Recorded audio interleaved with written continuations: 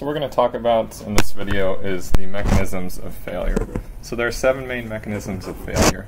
Um, and we'll talk about them with the aid of the stress strain diagram, uh, a column cross section, and a longitudinal view. Uh, so first what's going to happen is we're going to have an elastic stress strain response.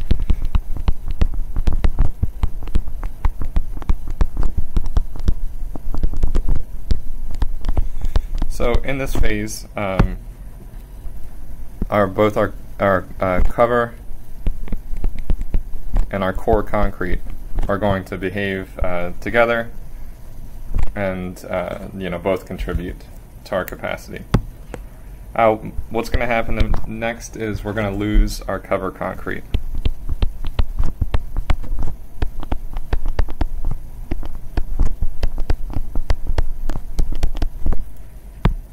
So it's at this point where we progress up and we lose our cover concrete. So we're going to lose that restraint, or that buckling restraint for our longitudinal reinforcement, and we'll lose the contribution of the cover from our cross-section capacity.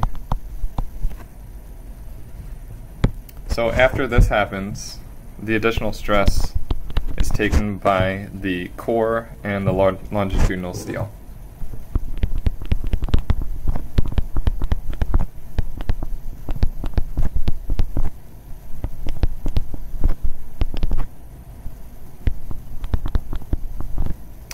So this stress is going to increase until our longitudinal steel begins to uh, yield or buckle.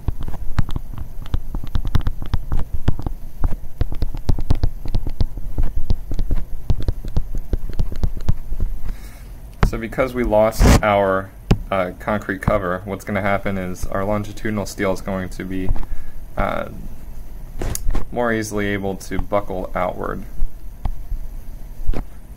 And as it buckles, we're going to lose the capacity of, of the concrete, or uh, sorry, of the uh, rebar. And this will leave only the core concrete left to contribute to the strength.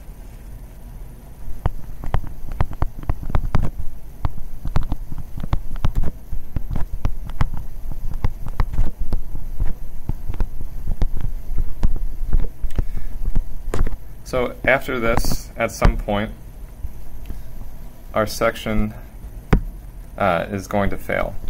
And that's because uh, the, the concrete core is going to crush.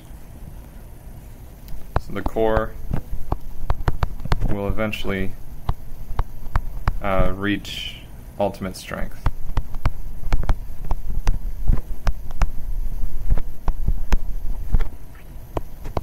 And it's at this point that there's uh, nothing else left to resist the stress. So ultimately our column is going to fail.